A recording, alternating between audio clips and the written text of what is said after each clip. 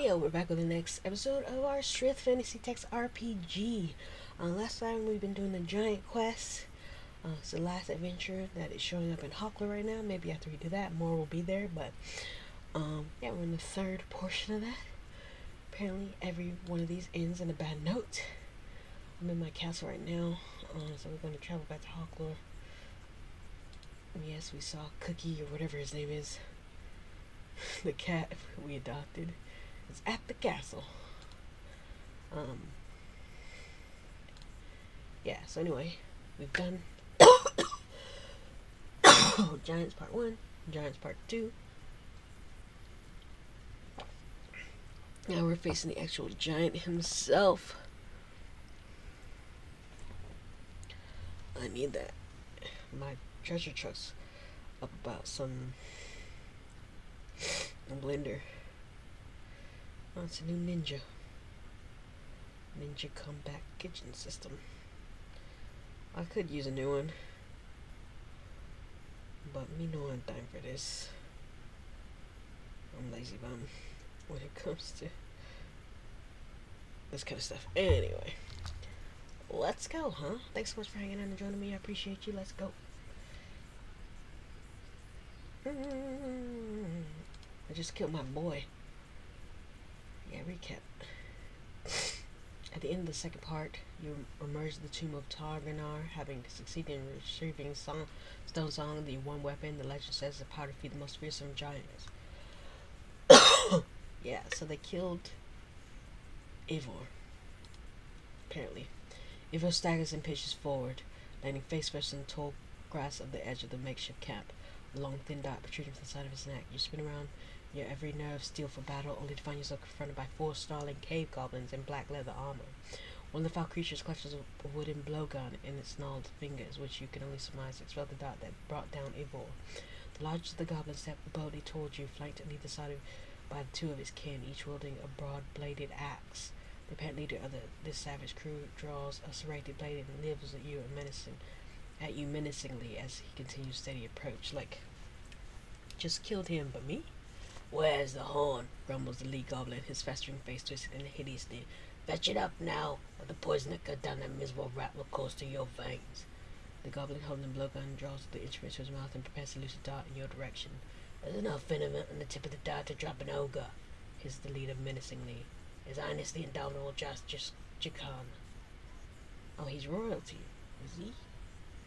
As granted that your life should be spared if you hand over that which belongs to him. Come now, let us not go against his wishes. Sinking feeling rises from within you as you realize that your mission to recover Stonesong was known, and that here at its conclusion has been compromised. You sense the full goblins are very much in hands, perhaps equally as fearful of the bold hero standing before you, before them, as they are of the distant giant master. Are they equally fearful of me? Of course they are.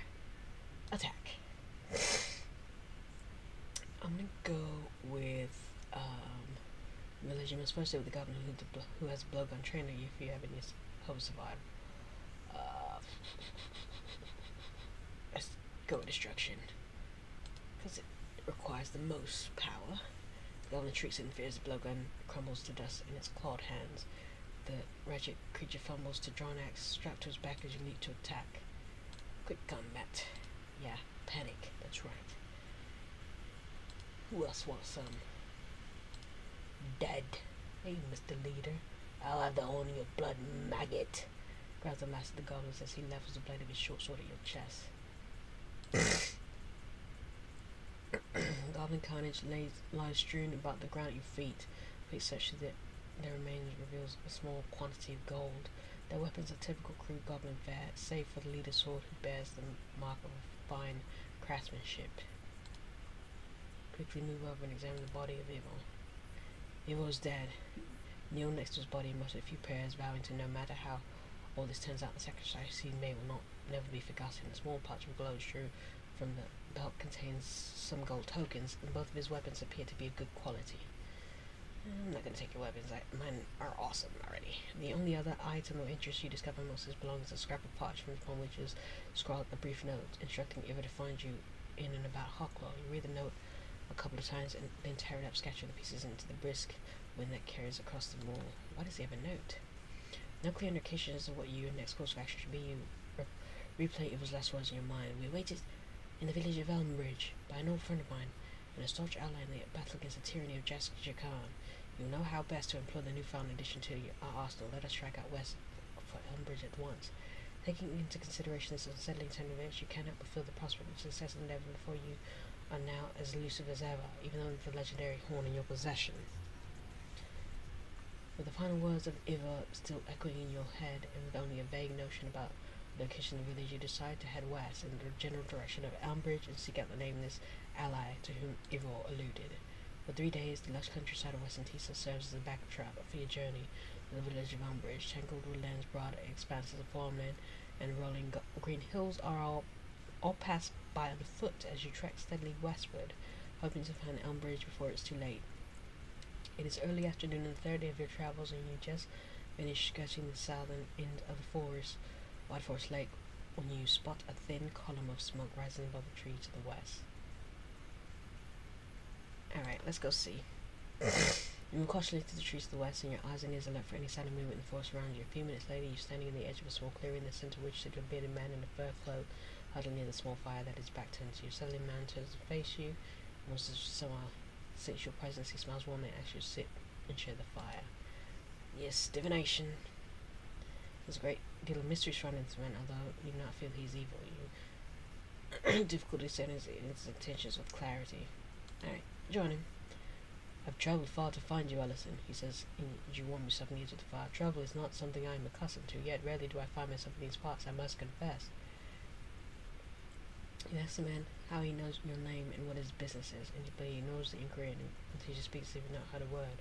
I bring something that might prove to be of use, he said, producing a thick bundle of cloth and handing it to you. It's a delivery that I'm glad I have the opportunity to make. Our meeting is no accidental encounter. Yet do not dwell on its significance, for your energy is best spent on the task at hand. You wrap the bundle of cloth in a surprise your eyes fall upon a magnificent sword blade buried in the folds of the fabric. The blade has been separated from, from what of a hilt upon which it once rested, but it remains nonetheless a remarkable piece. What am I supposed to do with this? Upon the shimmering blade in your hands is engraved an intricately detailed scene depicting a fierce battle between a group of armored men and several giants. When it's reunited with its hilt, a sword of legend shall be reborn, said the bearded man, his eyes reflecting the silver glimmer of the blade. Take the blade, and on the road that lies ahead you may find what you seek. You glance up from the blade to ask the mysterious stranger what he knows of your business, and you are shocked to discover he is nowhere to be seen. As sounds you right, turns your head in the direction you spot a vaguely human shape, obscured in shadow, receding into the gloom of the woods. As you shocked discover that there is now no trace of the small fire next to which you met received it, as if it never existed at all. Without further delay, you set off to the west, resuming your original course through the wood. The forest begins to thin out as you proceed, and you soon come across a well-worn road winding its way through the trees, running more or less east and west. You follow the well-worn road as it cuts its way almost due west to the outskirts of the forest. Nearly a mile along the road, you come across upon something that raises your spirits. A moss-covered sign a thick wooden post indicates the village of Elmbridge lies only a few miles ahead along this very road. You're elated to have located the village, and you'll redouble your efforts moving swiftly along the road. Helps to reach your destination within the hour. However, less than a mile past the sign, you encounter the first signs that all is not right in Elmbridge. You turn a bend and come upon the smashed remains of a wagon strewn across the road. Flies buzz as the bloody carcasses of two horses that lie amidst the wreckage. Sadly, one of the horses is still breathing faintly. Without hesitation, must, must mercifully put the suffering beast out of its misery. The bodies of the two horses are riddled with deep gashes, and the search of the remains of the wagon produces a half-half of an axe and a flint dagger. The items are crude, bare at best, typical of weaponry employed by goblins. The realization is that goblins attacked this wagon and presumably killed and captured its occupants, causing a single feeling to well up in the pit of your stomach, or indication that the means of Jastrigar have already arrived in Elmbridge. If of what fate might have befallen the remote village, you hurriedly follow the road west cautiously, skirting the edge of the forest. Less than a dozen yards past the shattered remains of the wagon, something suddenly strikes your leg, and you look down to discover a small rock lying on the ground at your feet. Peering into the woods, you spot a man lying just inside the edge of the forest, his body partially concealed by a blanket of foliage. He rapidly beckons for your for you for you to approach, and without delay you slip into the woods and make your way over to him. Okay. The man introduces himself as Quag. Quig. I don't know. Quig. Quig tells you that Elmbridge has fallen to force of goblins and ogres. You learn that the village received warning from a nearby settlement of Ox Oxford that had an attack was imminent, and most of Elmbridge's inhabitants fled to safety, save for a band of militia who attempted an ill-conceived defense. It was foolhardy at best, he says, in pain as he speaks. We could not have been prepared for a sheer number of goblins that stormed the village and swarmed us, or the band of ogres that followed them. I believe few men might have escaped with their lives, myself included, but there were over twenty of us pitching a fight. It was a deadly blunder. In a weak voice, Quig tells you that the Goblin Raiders were seeking someone who was apparently hiding in the village. You cannot but think that someone could be the person whom Eva alluded to his final words. Whoever it is, it must it must have fled into the beneath the village, for the last party of goblins has entered the forbidden place. You ask Quig about the tunnels he mentioned, tells you that a sprawling underground complex of passages already existed beneath the village. The tunnels are the remnants of the distant past. He says no one is certain of their origin or purpose, and it is forbidden for anyone to enter them. Many believe the strange magic exists within the tunnels and perhaps hiding some secret ancient secret. Regardless, there's only one I have ever known who has willingly braved those passages. What is it? Quig tells you that Elmbridge is no longer safe to enter. The goblins have taken up residence in the hostile village and now control all roads leading into it. No doubt the band of ogres that smashed his way through us is in there as well, he said day.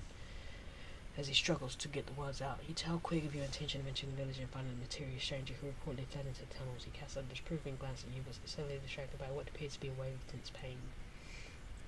For several moments, Quig is unable to speak. He closes his eyes on himself, has sharp, exhale sharply as he contends with the severe pains that seem to have overtaken him. For you to come close and hoist up his bloody tunic, revealing a wide and deep gash beneath the breadth of his chest. I may have seen my last sunrise this morning. No matter though, but, but I would see that you spared yourself death, to which this road will lead you. Restoration.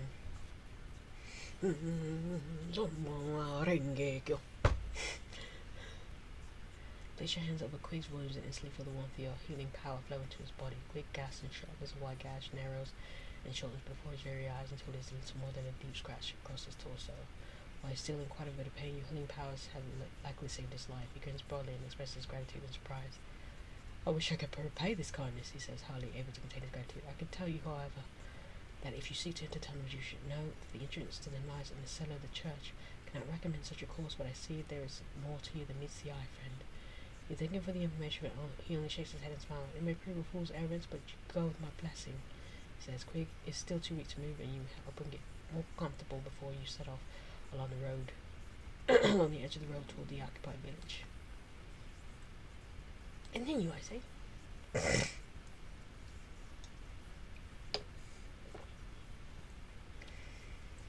Less than a mile past the spot where Quig lay, you come upon the outskirts of Elmbridge, passing several small cottages and large barns that have been ransacked. The bloody carcasses of the three horses lay strewn. Oh, they gotta kill the horses! Bang! On the roadside and close by, the headless bodies of three men in leather armor who presumably were members of the militia that paid for their bravery with their lives. The cruelty of the government sickens you. You are now more determined than ever to see your mission through and effect the final end of the tyranny of Jas Jacan and his wicked minions. Just beyond one sect cottages, the roads bend to the south, and in the distance you can clearly make out the cluster of buildings that comprise the heart of the village. Suddenly your eyes fall upon a more sinister sight. Not far ahead, on the left side of the road, stand two cave goblins, apparently guarding the Clarifel that runs into the centre of Elmbridge. You quickly take over, covering the trees and the side of the road, thankfully that you have not yet been spotted. You have you have a feeling that getting past these two sentries that are alerting every goblin in the village to your presence could prove tricky. Archery. Whew. Let's go. You barely, barely a sound of goblin slumps to the road, your arrow piercing his chest. First, the remaining goblin seemed confused, but upon catching sight of the feathered shaft protruding from his cohort's chest, he resumed, resumes a defensive stance, his eyes wide with fear as he the air for any signs of his foe. Before the goblin spotted you, calmly notched a second arrow used a well-aimed shot intended to deliver him the same fate as his fallen companion. Success! Your arrow slams into the goblin's chest-shattering bone and tearing through his fetid flesh. Gasps loudly for air, but the arrow is pierced one of his lungs. He struggles is in vain. In a matter of moments he collapses and does not move again. The goblin sentry is not in the way. You pause for a moment to decide your next course of action. Suddenly, Something heavy slams to your back and tauntingly the cord is thrown over your head. The cord bites your neck and you're desperate fight for air. The goblin punches on your right. On your back tightens his grip on the rope. Is he slowly strangling me? My in combat is first rate. With twist your neck and well-practiced rotation of your shoulder, you send the murderous goblin assailant soaring, soaring through the air. The miserable creature strikes the ground hard, crying in pain as his left forearm snaps cleanly open. That's what you get. Upon impact, before the goblin can regain its feet, you are, are upon it. Couple of nasty blows, you in its wretched life of savagery. Not wishing to linger here, you hurriedly but cautiously make your way along the edge of the road towards the heart of the village. As you draw near to the heart of Elmbridge, you can plainly see the village is overrun with a large force of goblins. Fearing that it's too dangerous to your direct approach, you quickly take up a position in a thickly wooded slope just east of the village centre. From your vantage point to the thickly wooded slope just east of the of Elmbridge, you are able to see nearly the entire village and to clearly monitor movements location of the goblins that occupy it. The foul goblins move in and about the ma ma major structures in the heart of Elmbridge, however, the majority of the activities seem to be centered upon the plain wooden church on the north northern edge of the village square. You have no doubt the goblins' efforts are focused on finding the same man you've come here seeking. Though you know little of this man, the ally to which Ivor alluded in his final words, you realize that you cannot allow him to fall into the clutch of the giant and his minions. You carefully observe the five locations in the the village and they seem to focus on most other goblin activity. Okay, we got the Badger's Den Tavern, the mill. they the goblins are invested in the mill like ants. Gross. The stables, the meeting house, the music, uh, the church. Um, I'm gonna go stables first because I don't want them hurting the animals. Let's go. You move swiftly along Elmbridge's main thoroughfare, narrowly avoiding goblin patrols. You seek ever closer to the village center. It is only a matter of moments you arrive unseen at your destination, the stables. No viable alternative. You stride up and boldly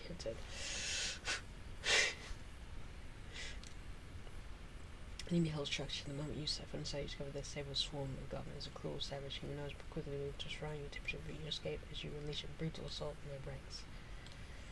Quick combat! Death death. I'm raining down death. Elementalism. Powerful air elements until surge to the path of the hurling bomb drives the firewall to your right where it detonates with a deafening roar obliterating the hapless goblins be standing within range of its destructive fury. With rage on, we're murdering, we're raining down death. Sweat streams down your brows. You step at the bodies of fallen gold, prepare to engage the next savage, bloodthirsty, bloodthirsty creatures. Death. Alright, we did it. Let's do telekinesis now. Project, the projected barrier of your mind of the goblin bomb sending the holding device of course. The flaming vial says past you and smashed into wall detonating with deafening roar, obliterating the hapless goblins, unfortunate enough to be standing within range. You can ready yourself to face what's coming next. Death. Wow, they weren't kidding. Swarming. One-eyed. One-eyed. It wasn't me. It was a one-eyed goblin. Last remaining goblins take flight, shrieking wildly as they flee for their lives. With no further goblins to continue until set about quick search of the stables. Mm, get the stuff. Back We've slain the goblins. Okay, the mill next because they're in there like ants. Do the hardest thing first, and then it just gets easier as time goes on. You move softly along Elmer's main thoroughfare, narrowly avoiding goblin patrols. You sneak ever closer to the village center. It's only a matter of moments you arrive unseen at your destination. The mill, with no viable alternative in hand, you stride up boldly. And the moment you set foot inside, you discover another swarming. That's right. That's why I came here. Uh, fortification. The goblin bomb sails into your hastily erected magical barrier, detonating upon impact and obliterating the handful of goblins unfortunate to be standing within range. The magical barrier dissipates and you prepare to face whatever might come your way next. Death. Death. Who's next? Just, just think of a video of this, of just goblin after goblin falling. How many is there? Eh? Unarmed. Why are they in here unarmed? Hmm? Caped. Oh, he's got a cape. He's fancy. Oh, that's it. They flee, flee for their lives. Search the mill. Keep the weapons out of careful then. Alright. Now let's just go in order. Should we get to the church? Give the relative safety. Headed to the tavern. Yes, we boldly step on in. Hey, hey, fellas. Hey, lady goblins, fella goblins. Are there lady goblins? I don't know. I've never seen any. Even in Harry Potter, I've never seen any lady goblins. They're probably so ugly they look like men goblins. Is that mean? Is that racist?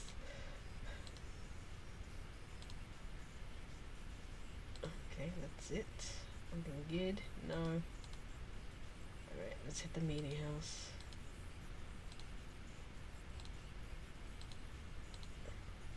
Hey guys, hey you guys, it's me. We we is losing weight for sure. This fighting.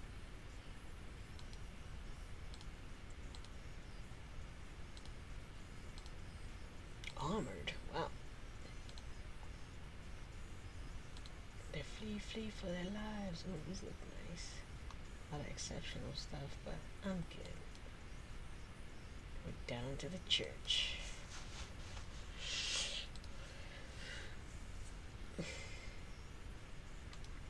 Church is swarming.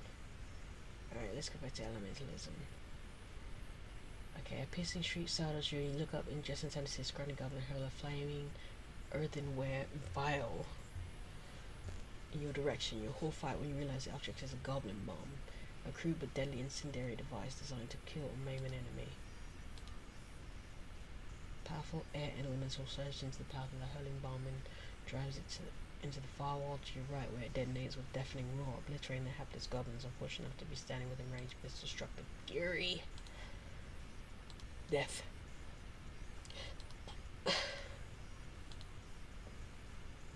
Hey, rejuvenation. That's nice. Thank you.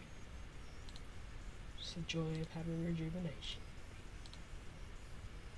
You're like you try to fight, you try to fight her, but then all of a sudden she's perfectly healed, back to full power. It's amazing. That's serious magic. Okay, keep death, death, death. Like, you must not know me. I'm Allison. I can fight for an hour I'll just. There's no flea. I'm back here. Yeah, we're good. You stand in the recessed corner of the Albrecht Church, staring down the open hatch on the floor below. The hatch is a set of stone steps descending into the shadow. You recall the words of Quig. You're certain the stairs below the hatch will to the tunnels he mentioned. In it is into the tunnels that creatures you stranger fled with the goblins pursuit. When Albrecht nearly free of goblin occupies, you feel the safety into the tunnels as you wish to.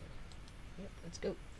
Take your first few cautious steps down into the gloom beneath the hatch and prepare to enter the, tunnel. You're standing in the base of the stone steps that lead up to the church. Nothing stirs. Why are there always tunnels under the churches? Did we talk about that?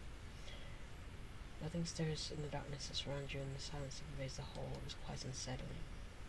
Footfalls echo along the narrow, twisting passages make up this ancient labyrinth. It does look labyrinthy. Uh, an inex- inexplicable sensation of disorientation suddenly comes over you. You struggle to regain your bearings as you aimlessly wander around the dark passages. Failure. Sensation disorient go stronger and stronger until last when you finally begin to society you yourself standing at the foot of the stairs that leads up into the church. This is annoying. It's gonna, gonna do that every time. And I'm going north. Is there something in there to fight? I don't think there is. I mean, goblins should be down here. Sound of many leathering feet slapping the stone floor. of the passage, setting your pulse racing you, and the it and the sizable party of goblins head your way. Thievery. Large part of goblins passes by within inches of where you stand, pressed up against the dank wall of the passage. You can't lengthen the rest of creatures as it move past without ever noticing the lone human lurking in the shadow at arm's length. They gone, you can no longer hear the sound of bare feet flapping the floor. Step away and continue on your way. I, I mean, I could have took them. But I wanted the thievery points.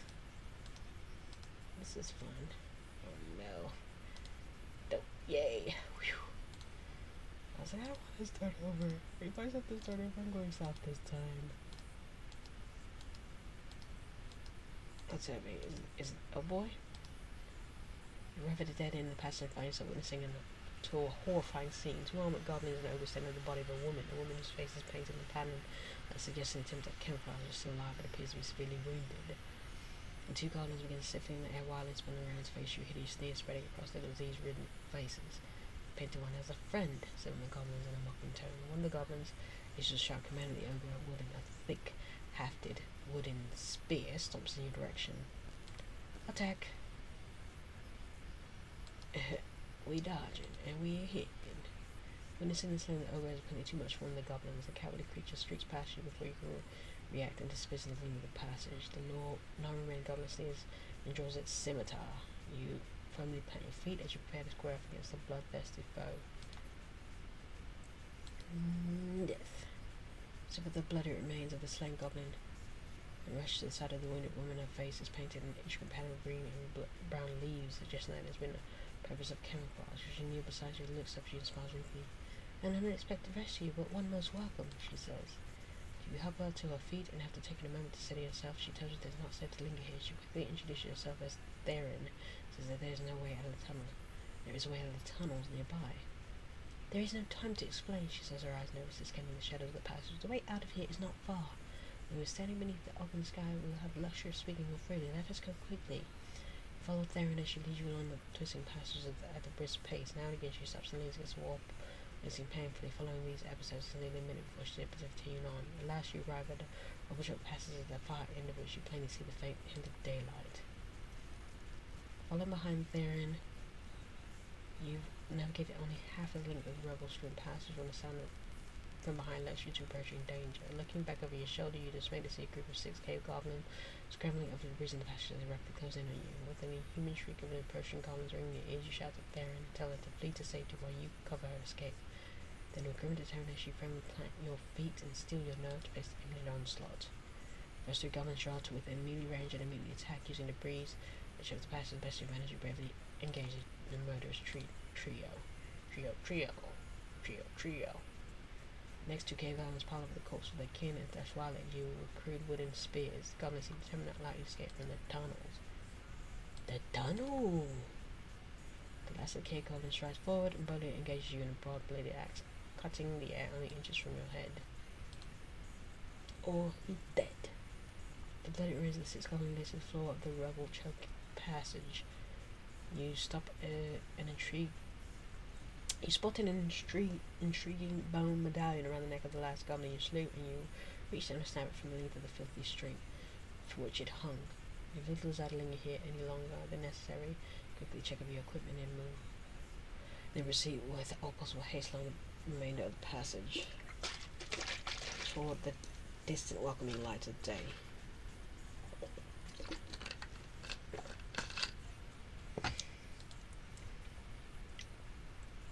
You emerge from the rubble-strewn passage into the bright light of the late afternoon and find Theron seated on a broad, flat stone, her eyes closed and her hands raised above her head. Slowly she opens her eyes, and when she sees you standing before her, she smiles. Without a word, she rises, steps towards you, both her hands extended as she begins. Again, close her eyes and safely you take outstretched hands and immediately feel the warm sensation spread throughout your entire body. I no restoration myself. I don't need you. We'd expected both you and Ivor would arrive, she said, withdrawing her hands, and the fact that you've come here alone can mean there's bitter news in part. You informed Theron of Evil's fate, and for a moment she is silent, but her countenance does not betray even the slightest set of emotion. Fate is a wily creature indeed, she says, for the man that Eva sought to meet in Elmer's perished in the very labyrinth with which we have just escaped. Four of us fled into the place within the midst of the village was abandoned, yet I, only by the good fortune of your time arrival, am the only one to leave that wretched hole alive. Your words do not bring comfort, she said. She continued, for the means of the giants to have found you without prior knowledge of a mission is against all odds. A traitor walks among us, to be sure. Theron is silent for several moments and appears to be lost in thought. When she again speaks, she tells you that a friend and ally that Ivor had mentioned in his final words was a man named Gathrid, a revered and long-standing member of the band that has long striven against the merciless tyranny of Jas Jagat. In the west, our band is known as Whisperfoot, said Theron. Though I have no doubt the name means little in these parts, our struggle has been with Jas Jakan and his wicked minions, and it has been utterly dishonest if I say that it has been long if, I did not say that it has been long and bitter. The giant is a brutal foe and as cunning and elusive as a hunted fox. When his wrath has been engaged, however, he strikes quickly and fiercely, I can think of a few things that I would fear more. Learn that Whisperfoot arrived in Elmbridge two days before the giant's minions attacked and overran the village. They were twenty in number and kept a low profile, lurking in the woods on the edge of town, hoping against hope that Ivor would return from his mission in triumph, bearing the one weapon they hoped could turn the tide against Jas Khan. You anticipate the question she's about to ask you before she chance to voice and as you draw out stone song from amongst your possessions. Her eyes widen and she nods grimly. A faint smile momentarily replaces her stone demeanor as she gazes upon the ancient horn. Long as the horn haunted my dreams, she said gently, rubbing her fingers over the bands of the silver that decorate stone song. It's almost unfathomable that after so many years, the answer to countless lonely prayers is here within reach. That means to ending the reign of terror that threatens to outlive us all. It's beyond all we could have hoped for. Theron tells you that one of the ju- agents of Whisperfoot, a man named Kelwyn, infiltrated Yashika's right, posing as a gold-hungry traitor to the cause of his fellow man. He quickly gained the giant's trust and confidence and soon learned that Jessica was close to discovering the location of Stone Song, the one thing he feared above all else. Khan's greatest fear is that Stone Song should be discovered and fall in the hands of his enemies, he says. She says, His fear is well founded, for I can think of none such as his rugged underlings that would think twice about turning it upon him. Armed with the knowledge he procured from the giant and his minions, Kelwyn returned in secret and presented his findings to Ivor, whose vast knowledge of the legendary enchanted horn knew few equals.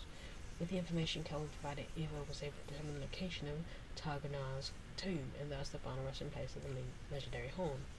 Kelwyn is the last mem- latest member to join our ranks, she says, and his arrival could not have been more timely. He's a man of valor and courage, with a giant, a great strength of body and spirit. We are fortunate to have met up with him.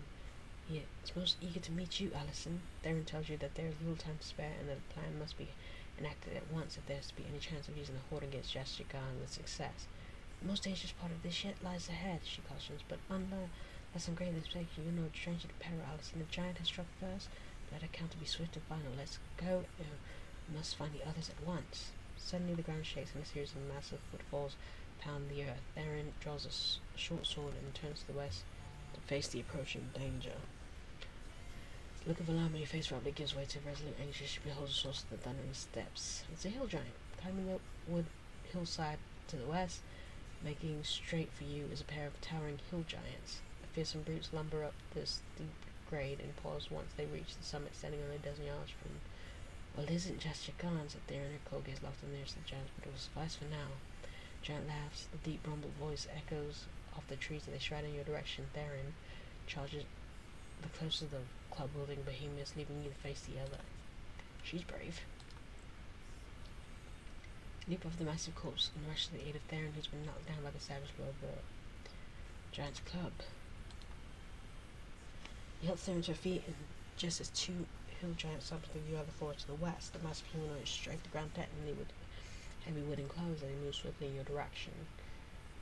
The simultaneous snap of several bowstrings suddenly rings out from nearby forest, and a of arrows shriek through the air. The feathered shafts slam into the foremost giant. The fearsome brute staggers back and topples over dead a tremendous bolt strikes the ground with a reverberating thud. Seven men, armed with axes and long swords, their faces painted in much the same pattern of Theron's, emerge from another part of the forest and rush past you to engage the remaining giant. You watch in stunned silence as quickly surround and cut down their outmatched foe with a lethal efficiency. Seven more men rush from the forest, making a total of fourteen that stand in the, by the corpse of the hill giants. Their faces all painted the same camouflage and leaf pattern as Theron's, and when the latter has regained her feet, she introduces them as members of Whisperfoot. To man, the members of the rugged band seem impressed to make your acquaintance, apparently your reputation as an adventurer has reached even the remote hills of Western Tisa. In the same measure of pride, you learn that you've often considered trying to recruit. They've often considered trying to recruit you into their ranks. One of the men stepped forward, bowed, deeply introduced himself as Kelwyn, and says in a deep, rumbling voice, "These honored to have met you." Theron relates in the news of Ivor's death, and after several moments the men hang their heads in silent tribute to the fallen brother in arms. However, when Theron next tells them that the mission ended in success, that you arrived in Elmbridge bearing a stone on the mood changes one of somber reflection to one of joyous celebration. Well done, friend, said Kelwin, placing his broad, steady hand on his shoulder. There's much to be done, though, and little time. Jastir Khan is en route to Elmbridge as we speak. Kelwin suddenly lapsed into a fit of violent coughing that lasts nearly half a minute. He eventually covers the page pardon. That, ra- that this rattle will be the end of me yet, he says. The easiest thing to shake. Learn that this morning Keller returned to visit a visit to Jastir Khan's encampment several miles to the south of Elmbridge, where he boldly informed the giant that had been secured by his goblin expedition. The horn is soon being route. I was somewhat taken back when he told me to bring the horn to Elmbridge and wait there for its arrival. For such a strategy only plays into our hands, and not having known the outcome of our mission till moments ago is a bold gamble on my part, one that might have been disastrous disastrously. However, it is now apparent from the past, for everything seems to be falling into place. He dictated that he would be approaching from out of the hills to the south. Kelwin turns his thickly muscled frame and stares off in the direction of the village as the company known as Whisperfoot prepares to set off the last leg of their long standing perilous mission with the legendary stone song and the bold adventurer who possesses it now counted amongst their ranks. Kelwin tells you that Jastir Khan will be approaching Elmbridge in the south and decided that he, you, and Theron would head in the direction instead of await, to await his arrival. He'll walk straight into an ambush, says Theron. Let us hope that by the time the first blast of Stone reaches his ears, his days have ended, for he is not likely to arrive alone, and there will no be other dangers to occupy us in his wake. If the horn should fail, says Kelwin, you think should no, it's better not to speak of such things, it simply mustn't fail. We cannot ignore the possibility of the horn failing, says Theron somewhat crossly. I would not sound the horn until Jastir Khan is as close as he can get. Should it fail, we must retreat to the village and regroup. Battle against this wicked beast will not die with the failure of a chosen ploy. Theron adjusts their equipment and wipes a line of sweat from her brow.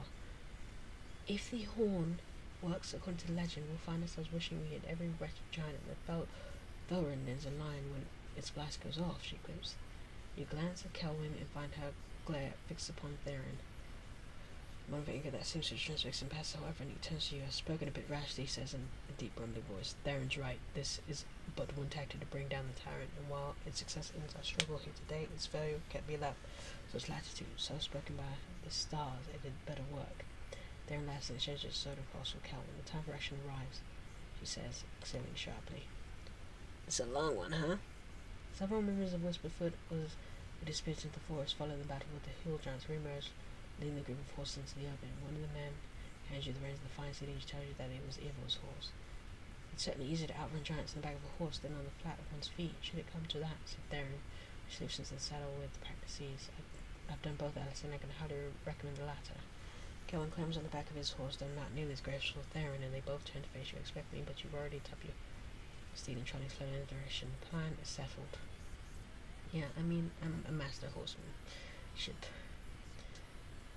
the plan is settled. Theron, Kelwin, and you will head to the south of Elmbridge and set up an ambush for Jastir Khan.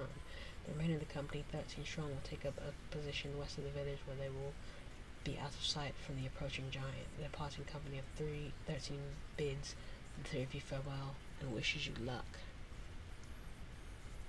As you turn and make your way south, heading for the outskirts of the village. Within an hour, you, Theron, and Kelwin are set up on the edge of the hills south of Elmbridge, concealed in thick copse of trees on the edge of the well-worn road leading north into the village. No one says a word as the three of you intently send the hills to the south, seeking any sign that might indicate the arrival of the giant and his minions.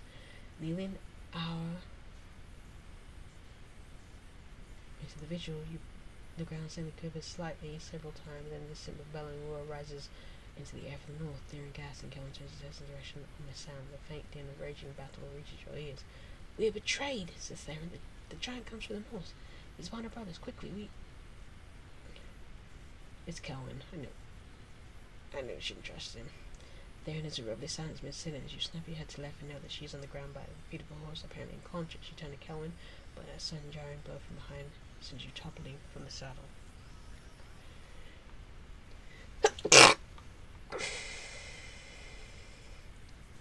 You plummet from the back of your horse, striking the ground hard and momentarily blacking out. I don't need no stone song to beat no jacket out. Chicon.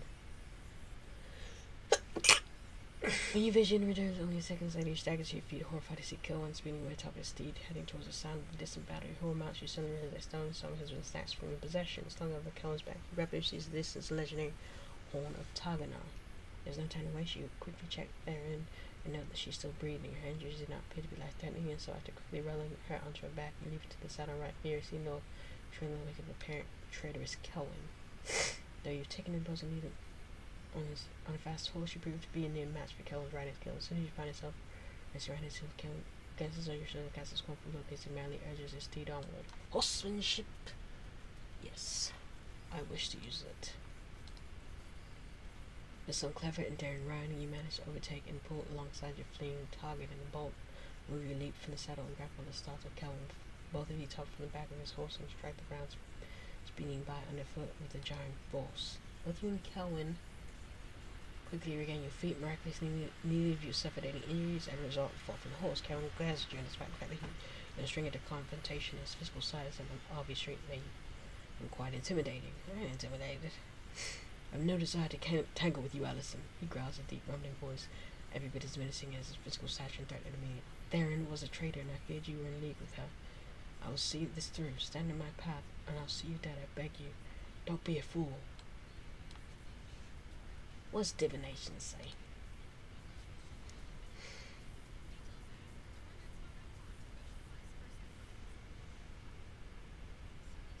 I mean, I think I have to attack.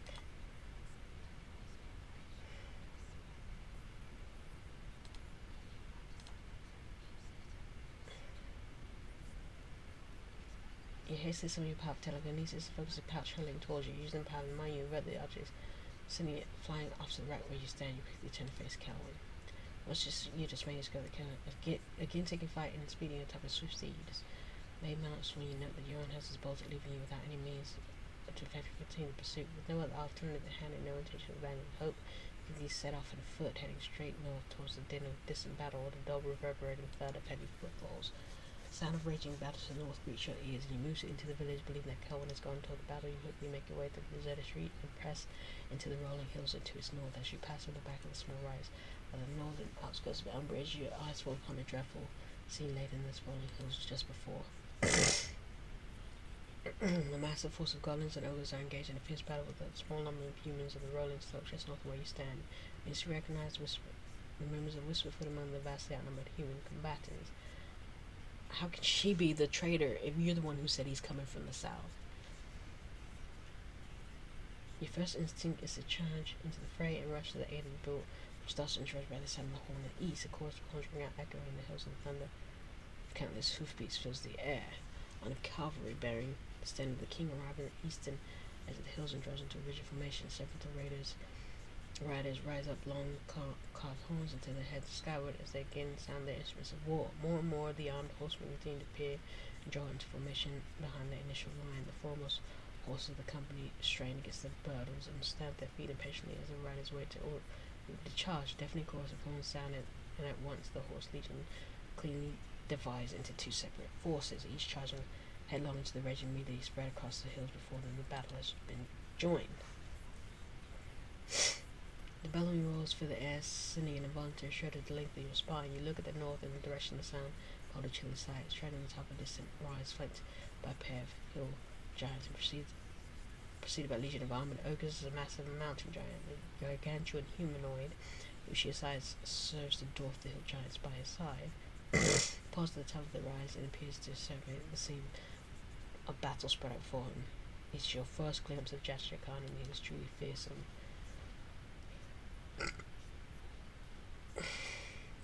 The black metal breastplate strapped to his chest, a massive spike cloak resting, spike club resting on his shoulder. Jastrier Khan turns his head from side to side as he watches the conflict that rages amongst the hills to his south. A, a shock of thick black hair crowns his head, sitting into matted locks just below his broad shoulders.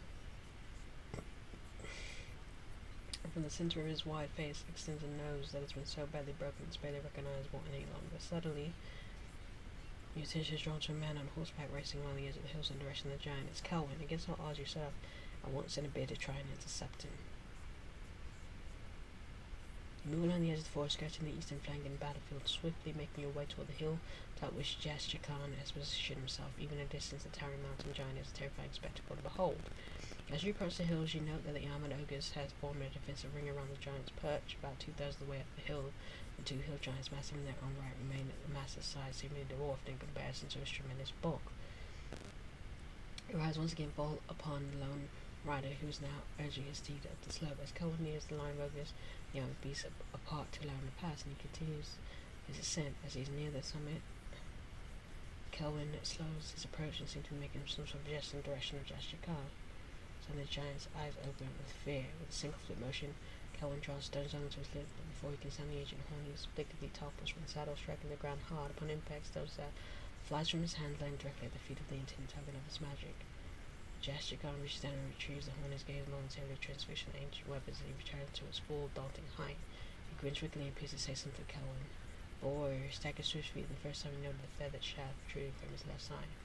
The goblin who loosed the shaft stands several yards to the right of Khan, no doubt awaiting the order of his cruel master. What happens next is still rooted in your memory to this day. Khan steps takes a step toward the risen Kilwin and clutches his club.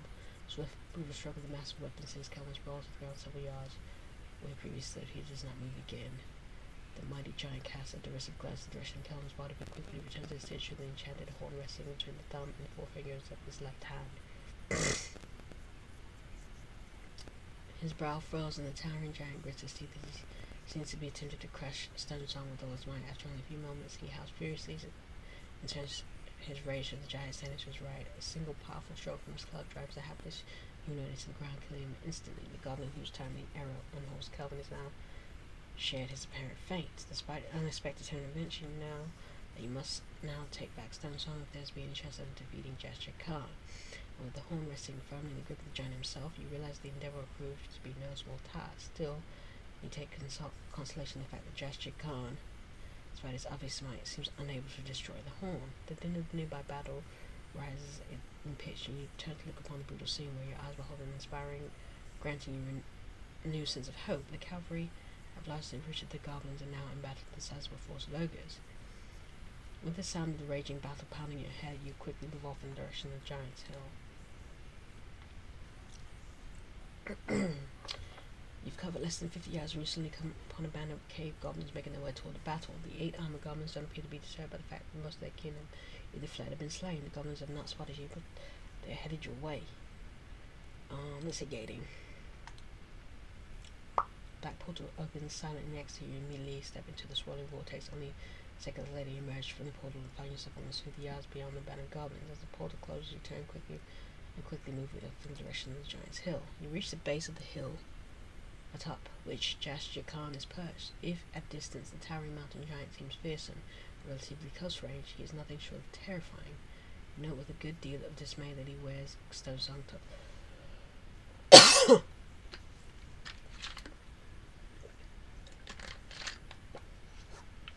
tucked into the massive high belt that encircles his waist. Jascha Khan grumbles as he surveys the ongoing battle on the hills beneath his lofty points, as if he is dissatisfied how events are unfolding.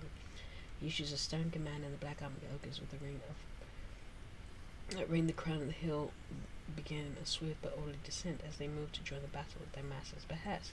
The command, spoken in tongue you cannot comprehend, dispatches the two hill giants that flank him. The gruesome pair make their way down the hillside behind the ogre. Their gaze fixed upon the brutal melee they've been ordered to join that that continues.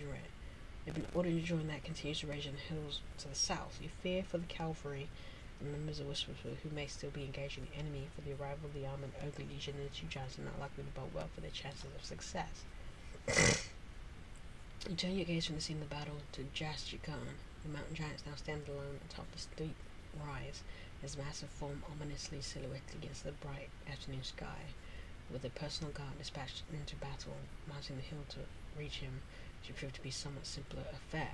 Knowing full well that the victory of the Chinese Chromanians will require the retrieval of stones on your head, determine your next course of action. I think illusion. We haven't done that one yet. Your well-crafted illusion has produced the desired effect. The illusion, the line of illusionary cavalry circling the base of the hill have secured Jasper Khan's attention. The giant looks down upon the horse soldiers now besieging his hill, studying them with a wary eye. With his attention pres- presently diverted, you swiftly begin your ascent, move steadily up the backside of the hill, and a small while later you reach the crown of the hill. You stand on the crown of the hill behind a group of tall hardwoods just to the right of Jasper Khan. The fearsome mountain giant is only a dozen yards from you, yet appears oblivious to your presence as his cold gaze remains fixed on the field of battle below. On the far side of the hilltop, still lying where the giant's blow carried it, is the unmoving body of Kelwin. Rescue from the body to Jasper Khan, where tucked into the giant's broad hide belt, you behold the very object that Kelwin took from you, Stonesong. At as this close proximity, Jasper Khan is more terrifying figure than can possibly have imagined. You find it hard to believe the towering mountain giant, whose every feature seems to hint at its unearthly might, could possibly fear any living creature. Despite a sobering assessment of the, his obvious lethality, you realize that the success of your mission and the survival of those now in battle with the giant's and minions rest on the retrieval of the enchanted horns of Targanar. Owing its present location, all indications are that it will prove to be no easy task. Let's see.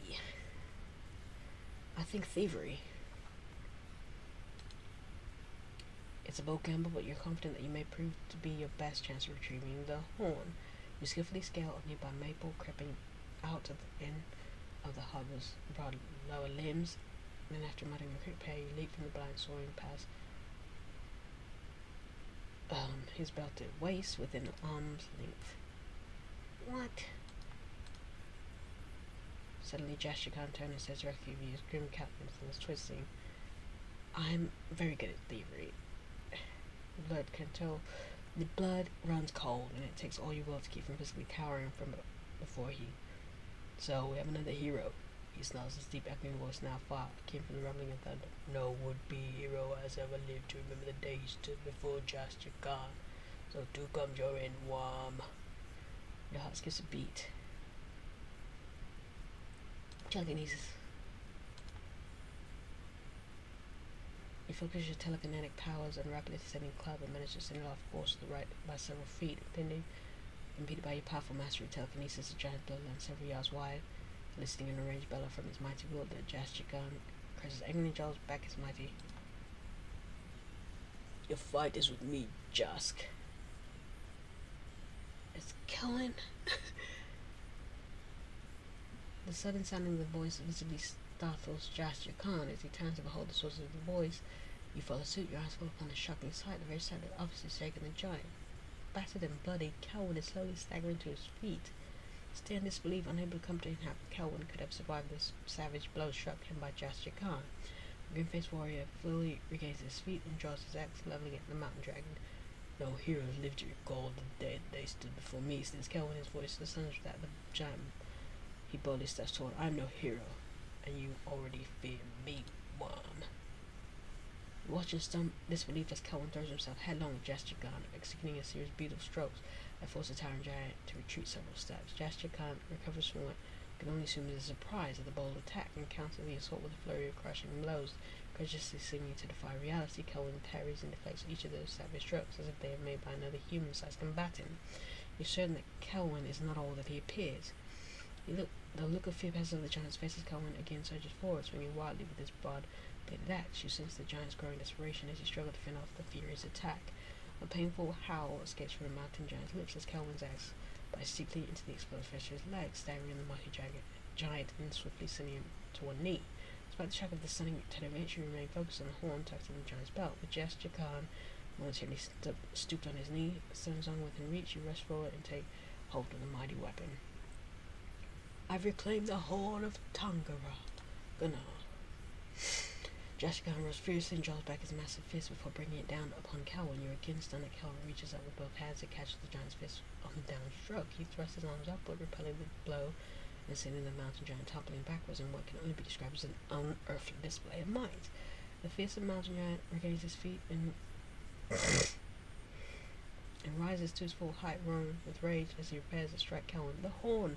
The horn, you fool! The horn! okay. You draw stone. You draw as you draw stone onto your lips. Jastican turns towards his face ashen, his eyes wide in fear. His terror-struck giant draws back his massive claw and prepares to bring the weighted weapon down upon you. Last desperate attempt at preempting the sounding of the ancient horn. For the mountain giant has known no mortal equal. He never tasted defeat. It is a fleeting moment of sheer terror, and it's already too late. The deafening blast erupts from the end of the horn as you force the air from your lungs into the enchanted weapon. Reverberating sound echoes through the hills. Countless repeated call, repeating call not heard since Tanganar himself last sounded the horn centuries ago. The hills again ring the voice of Tanganar's, Targanar's beloved stone song. Gesture Khan begins to tremble and you're forced to dodge his massive club as a mighty weapon topples from his shaking hand, striking the ground where you were standing only moments before.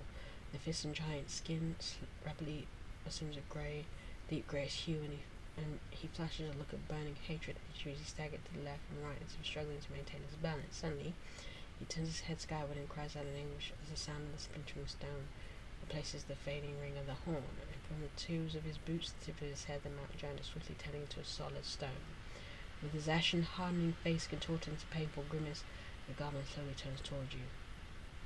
The giant. You won, then. He croaks, weakly in his voice lacking even the slightest trace of his former powerful resonance. Take pride in that. The petrification rapidly consumes his torso and spreads into his face, forever freezing the giant's anguished countenance and the horrified look that transfixed it with the last fleeting, terrified moments of his life. Less than minutes after the sounding of the horn, Gesture Khan has been transformed into solid stone. He does not speak or move again.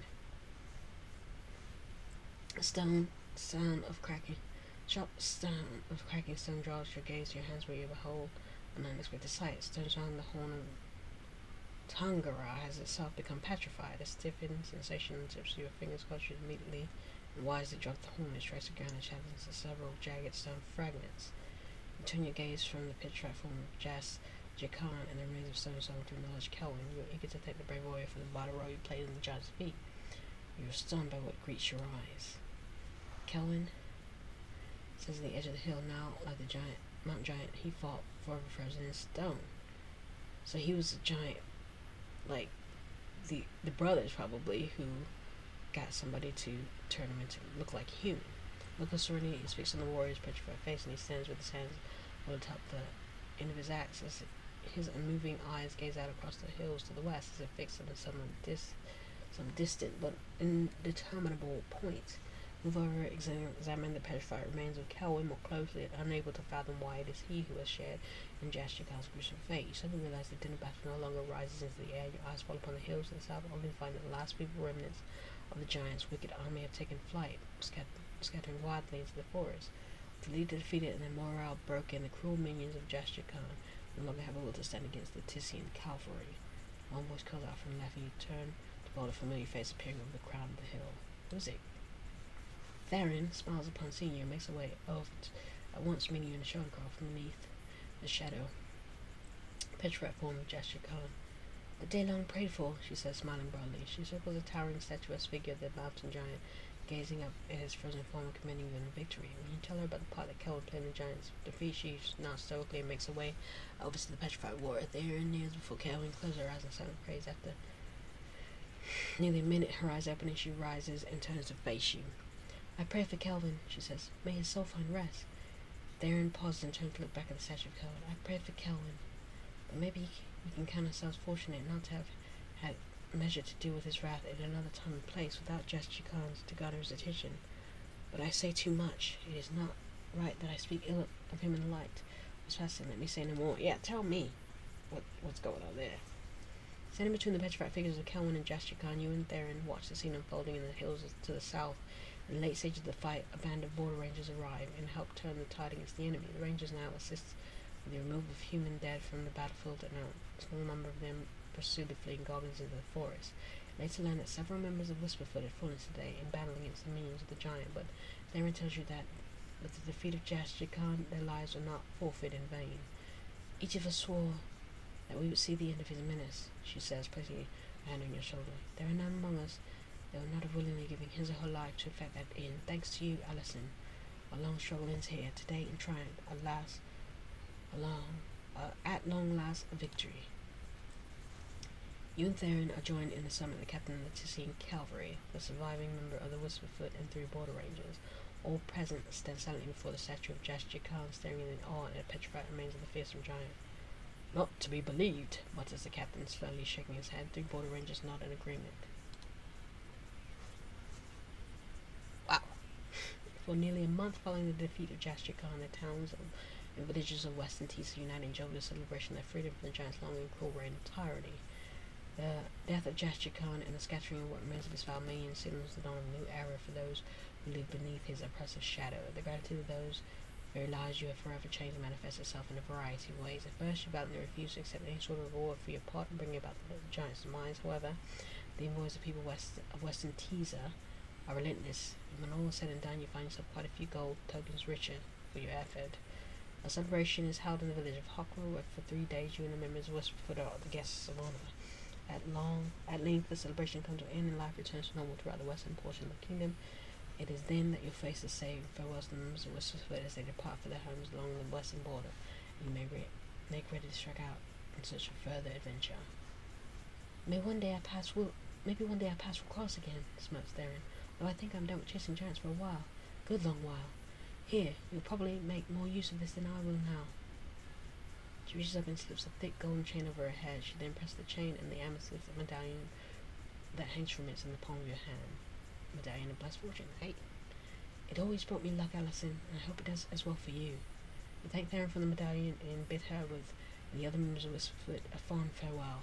When they have departed, you two set out on your way, slipping out of Hawklor as quietly as you can, your body well rested and your spirit thirsting for adventure. Name Ellison will never be forgotten by the people of Western Teesla, whose lives and his children's lives have been spared the dread and uncertainty of a woeful existence beneath the shadows of a ruthless tribe. The story of Ellison the Bold and Stone Song, an unfamiliar tale in these parts, and one that has taken its proud and rightful place amongst the greatest historic episodes of the age. And to this day, on the crown of the hill now known as Giant's Rise, stands the statue of Kelwood and Jascha Khan. Clear day, their silhouettes are readily visible against the backdrop of the pale blue sky, a constant reminder that of the fateful afternoon of long, late autumn long ago, when the hills echoed with the voice of Stonesong one last time, when bold heroes stood defiant before the wrath of a giant. That's right. I win. Woo-wee! That went on. But hey, I got songs about me now. Isn't that exciting? More? Yep. We finished all the adventures for Hawklor. How fascinating. We got one more. Medallion of Mighty Misfortune. Oof. Glad I didn't put that one on, huh?